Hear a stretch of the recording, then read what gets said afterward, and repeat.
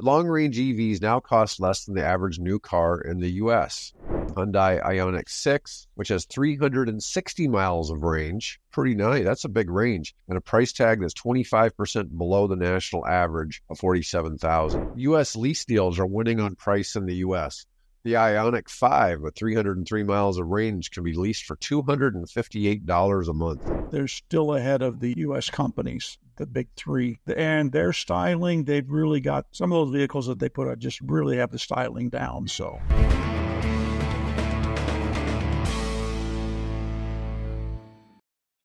Hi, I'm David with EV World News. I'm here today with our founder and chief editor, Bill Moore. How's it going, Bill? Well, it's going well, and I will just give everyone a heads up here that my roof is being replaced right now.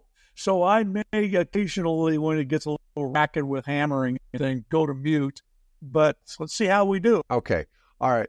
Anyways, so today we're going to cover an article from Bloomberg. I'm always hesitant to do Bloomberg because half the time it's behind a paywall and you can't get anywhere. Behind the paywall, yep. Yeah, but long range EVs now cost less than the average new car in the US. Now, I don't think people understand. So when we say a long range EV, we mean one that has at least 300 miles 300 yeah 300 miles makes long range yeah we, that's the remember that's the bladder distance Yes, there we go. Um, Tesla, Hyundai, Kia, and General Motors now offer EVs more than 300 miles of range for less than the cost of an average new vehicle sold in the U.S. Now, that average cost of a vehicle is 47,000, and the most affordable is Hyundai Ioniq 6, which has 360 miles of range. Pretty nice. That's a big range, and a price tag that's 25% below the national average of 47,000. So the Hyundais, a lot of them don't qualify for the $7,500 tax credit, but they've been pricing them low enough that it doesn't matter. But now that they're going to start manufacturing in Georgia, that's going to start changing.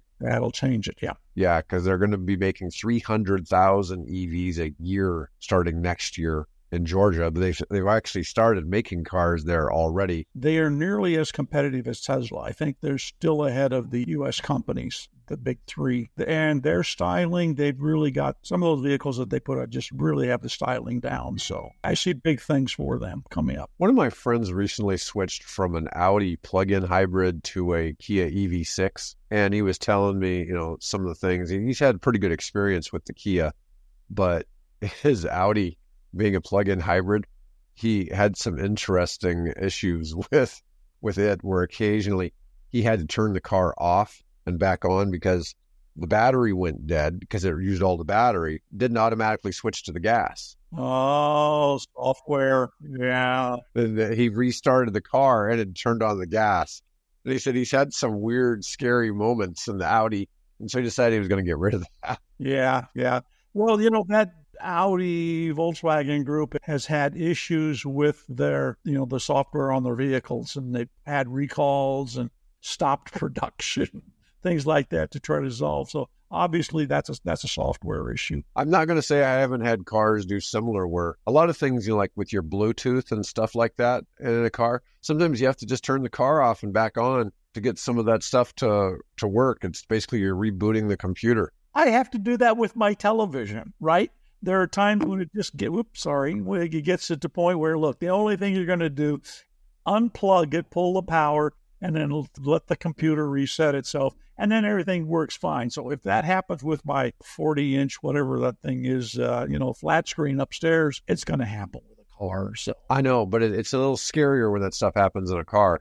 Oh yeah because you're you know you don't want that happen when you're you know 40 miles away from home or you're driving at 60 miles, 70 miles an hour down the road. So, yeah. No, I know. Stellantis is about to offer an electric Jeep of some sort for $25,000. That'll probably be a hot seller for them. Man, they really need to get off their butt and stop trying to sell their gas Jeeps for $75,000. Yeah, there's a big market out there still for me. There is, but uh, they're, they're sitting on six months of inventory, you know, so that, you know, makes for a tough market. U.S. lease deals are winning on price in the U.S.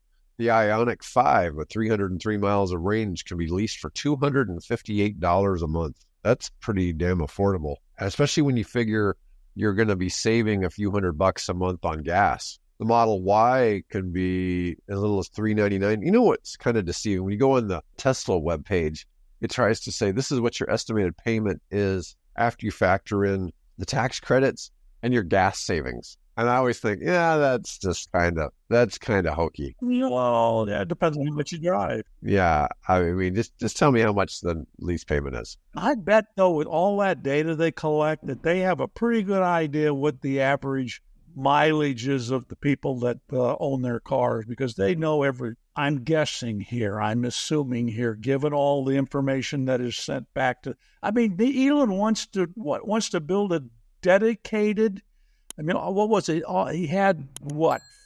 Some huge number of chips sitting around supposedly that he couldn't use. And he said, no, don't put them in the cart.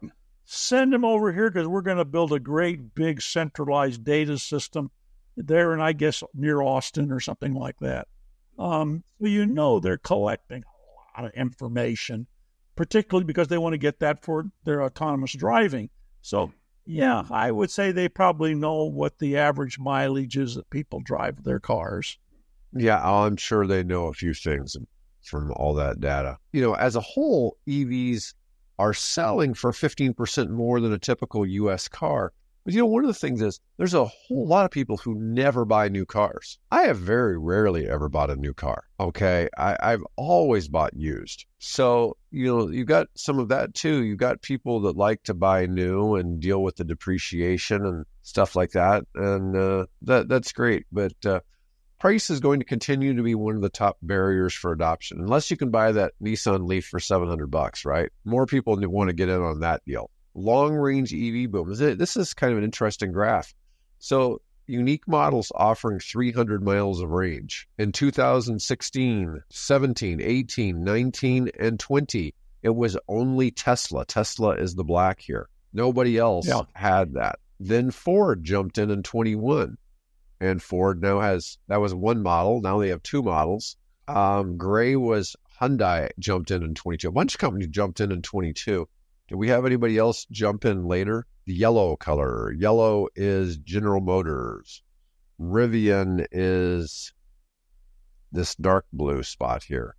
And this last one is other.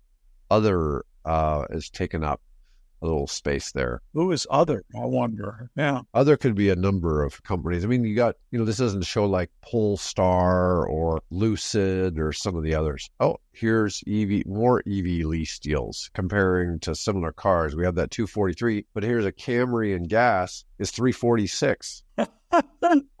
hundred bucks more. Yeah, um, Tesla Model Three versus a BMW Three is uh, almost two hundred dollars less, and these are all um, ten thousand miles of driving annually with three thousand dollars down. So that's a pretty good little article, I thought. Hi, I'm David with EV World News. If you like this video, then please press the like button. If you like the content and would like to see more videos on electric vehicles, then please hit the subscribe button. You have some feedback for us, please let us know in the comments. Have a great day.